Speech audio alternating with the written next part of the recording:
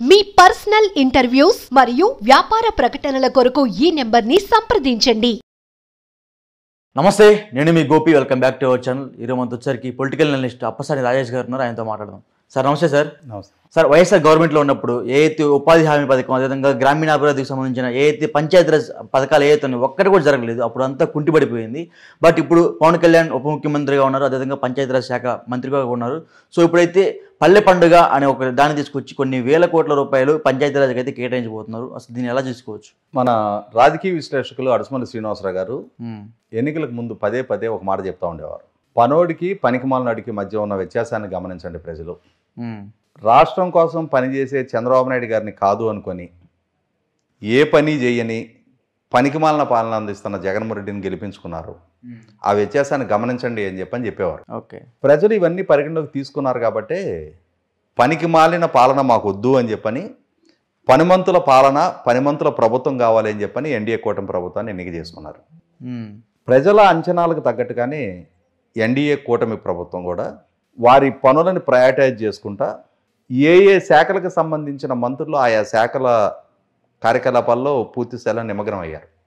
అలాగే Panchayati Raj and rural development మంత్రిగా బాధ్యతలు చేపట్టిన ఉప ముఖ్యమంత్రి పవన్ కళ్యాణ్ గారు ఐదు సంవత్సరాల జగన్మోహన్ రెడ్డి గారి పరిపాలనా హయాంలో కుంటుపడిన ఒక రకంగా నిస్తేజంగా నిద్రాణంగా మారిపోయిన పంచాయతీరాజ్ వ్యవస్థని తిరిగి చైతన్యవంతంగా మారుస్తూ ఉన్నారు.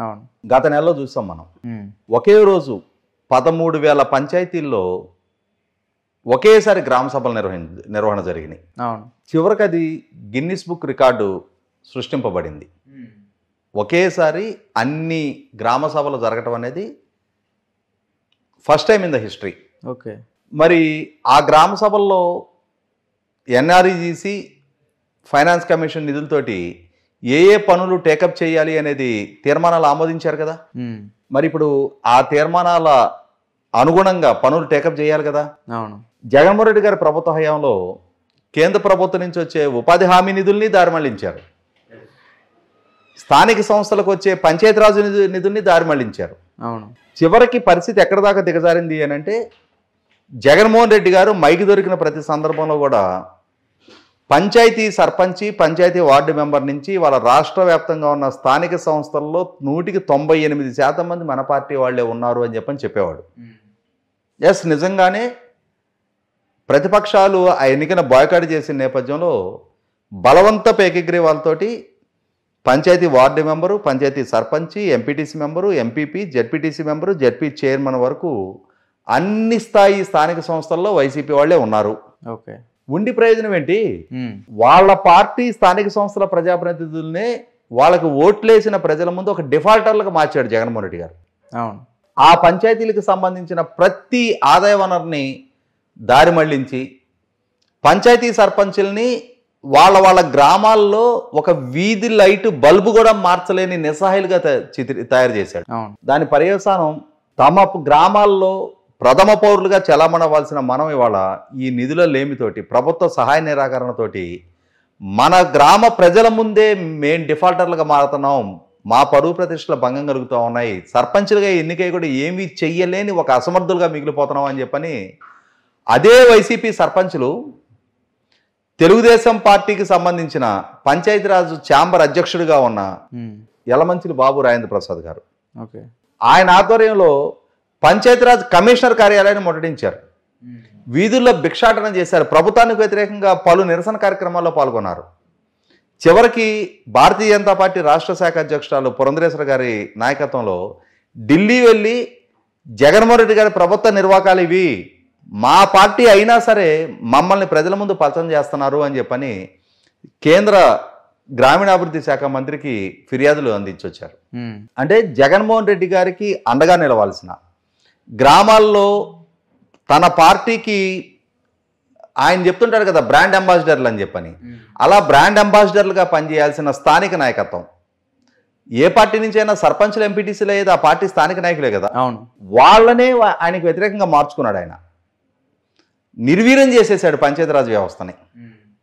ఎంత సంక్షోభ స్థితికి నెట్టేశాడు అని అంటే పంచాయతీరాజ్ వ్యవస్థ జగన్మోహన్ రెడ్డి గారి పరిపాలనని ఒక గుదిబండగా ఫీల్ అయ్యే పరిస్థితి సృష్టించాడు. అటువంటి స్థితి నుంచి వాళ్ళ పార్టీ స్థానిక సంస్థల నాయకుల నుంచి ప్రతి ఒక్కరూ ఆయనకు వ్యతిరేకంగా మారిన నేపథ్యంలో ఈ పనికి మాలిన పాలన మాకొద్దు అని చెప్పని పనిమంతుల పాలన కావాలి అని చెప్పని ఎన్డీఏ కూటమి ప్ర ప్రభుత్వాన్ని తెచ్చుకున్నారు. అవును. దానికి తగ్గట్టుగానే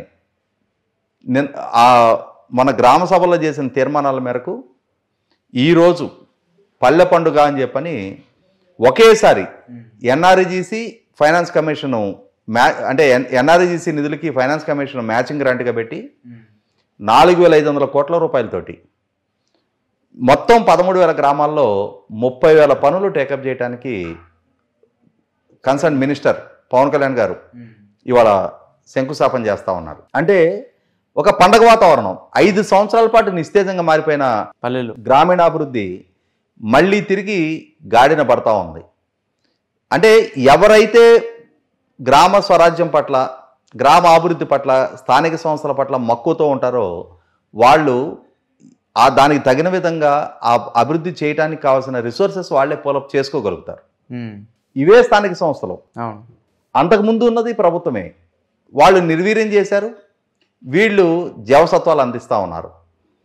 ఆల్రెడీ ఇప్పటికి రెండు వేల రెండు వందల ముప్పై తొమ్మిది కోట్ల రూపాయలకి సంబంధించిన ఇరవై ఆరు వేల ఏడు వందల పదిహేను పనులకి కలెక్టర్లు ఆమోదం కూడా ఇచ్చేస్తున్నారు. అవును. మిగిలిన పనులకు సంబంధించి కూడా ఈ వారం రోజుల్లోనే సాంకేతిక ఆమో అను- అనుమతులన్నీ వచ్చేస్తాయి.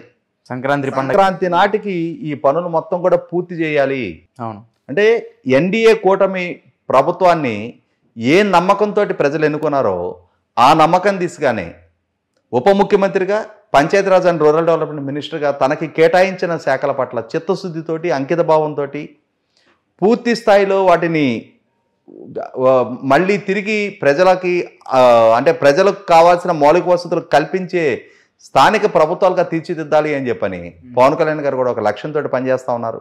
ఓకే. ఎస్ ఇది ప్రజలు ఆశించింది.